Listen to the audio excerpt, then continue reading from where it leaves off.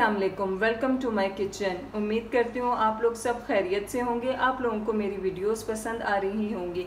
अगर आप लोगों को मेरी वीडियोस पसंद आ रही हैं तो मुझे कमेंट करके बताइए, मेरे चैनल को सब्सक्राइब कीजिए और थम्स अप का बटन प्रेस कीजिए। तो जी जनाब, आज हम बना रहे हैं बारबेक्यू राइस बहुत, जो कि बहुत ईजी और क्विक रेसिपी है। चलिए मैं आपको बताती हूँ कि उसके लिए हमें क्या चाहिए।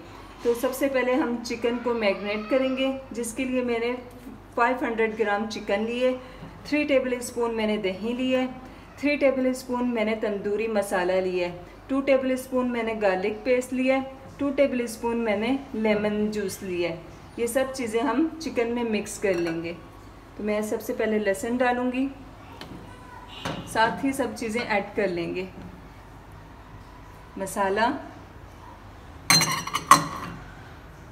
लेमन जूस और दही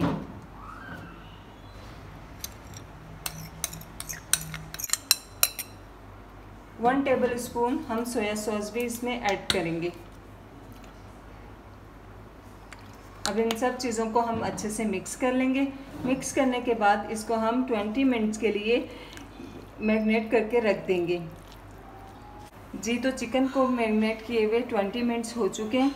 अब मैं टू टेबल स्पून ऑयल डालूँगी पॉट में और अपनी चिकन ऐड कर दूँगी।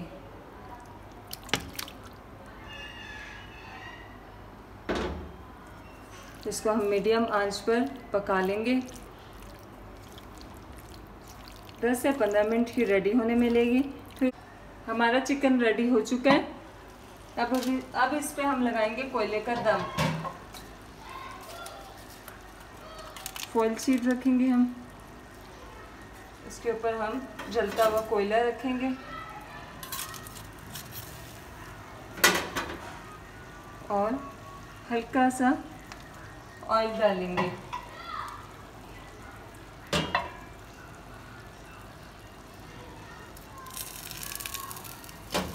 अब इसको हम दम पे दो से तीन मिनट के लिए रख देंगे, ताकि कोयले का टेस्ट चिकन में आ जाए।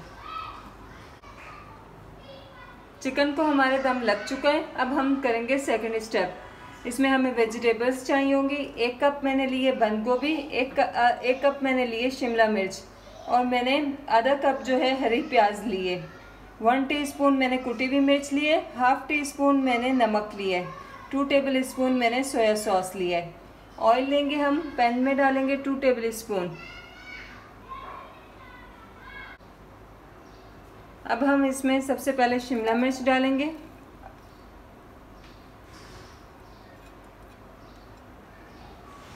सब्जियों को ज़्यादा हमने पकाना नहीं है।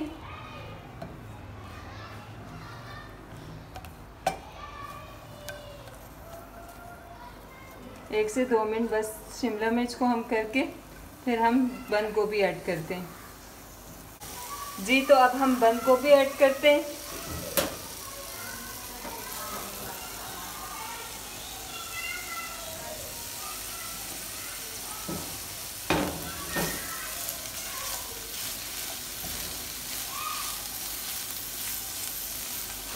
बिल्कुल भी ओवर कुक हमने सब्जियों को नहीं करना है। अब हम इसमें सोया सॉस ऐड करेंगे, साथ ही कुटी मिर्च और नमक। अच्छे से मिक्स कर लेंगे। हमारी सब चीज़ें अच्छे से मिक्स हो गई हैं। अब हम इसमें हरी प्याज भी साथ ही डाल देते हैं।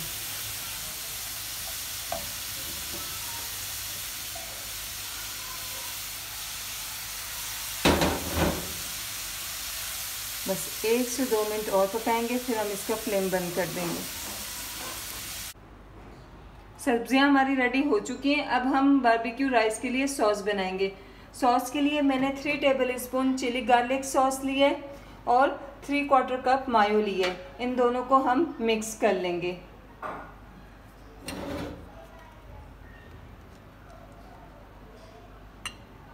अब इन दोनों को हम अच्छे से मिक्स कर लेंगे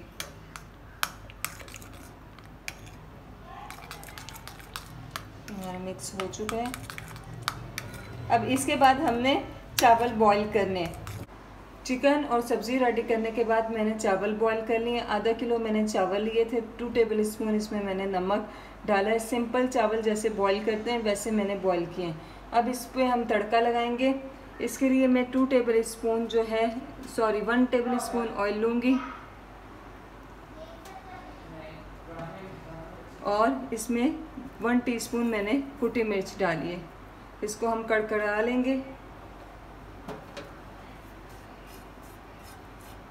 बस ये रेडी हो चुकी है। अगर इससे ज़्यादा हम करेंगे, बिल्कुल लो फ्लेम पे करेंगे और वरना इसकी जो है जल, वरना मिर्च जो है वो जल जाएगी। चलें, ये मैंने फ्लेम बंद कर दिए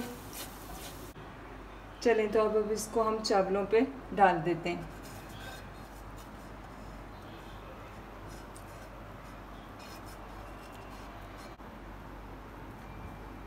चलें। अब इसके बाद हम जो है वेजिटेबल्स डालेंगे, फिर हम चिकन डालेंगे और फिर अपना सॉस मैं आपको सब करके दिखाती हूँ। तड़का लगाने के बाद हमने जो सब्ज़ियाँ रेडी की थी, हम वो डालेंगे राइस के ऊपर।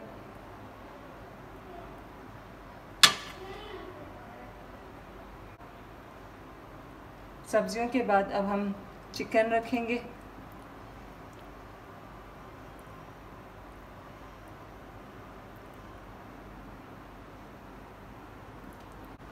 सॉस जो मैंने बनाया था, वो मैंने केचप बॉटल में इस तरीके से डाल लिया है, ताकि हम आराम से इसके ऊपर डाल सकें। ये देखें आप।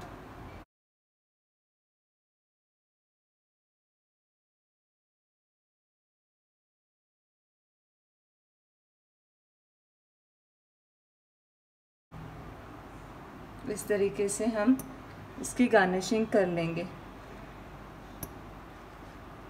हाँ जी तो हमारे चिकन बारबेक्यू राइस रेडी हैं। अब इसके बाद मैं इसको दो से तीन मिनट ग्रिल करूँगी। ग्रिल करने के बाद इसका लुक और खूबसूरत हो जाएगा। आ, ये ऑप्शनल है। आप लोग चाहें तो ग्रिल करें ना चाहें तो ना करें। लेकिन मैं इसको करूँगी ग्रिल दो से सिर्फ़ तीन मिनट के लिए। जी तो हमारे बारबेक्यू राइस ग्रिल हो चुके हैं। दिखने में और ख़ूबसूरत लग रहे हैं। आप लोग ज़रूर ट्राई कीजिएगा और कमेंट सेशन में मुझे कमेंट करके बताइएगा आप लोगों के कैसे लगे कैसे बने। मुझे कमेंट करके ज़रूर बताइएगा। मेरे चैनल को सब्सक्राइब कीजिए और थम्सअप का बटन प्रेस कीजिए।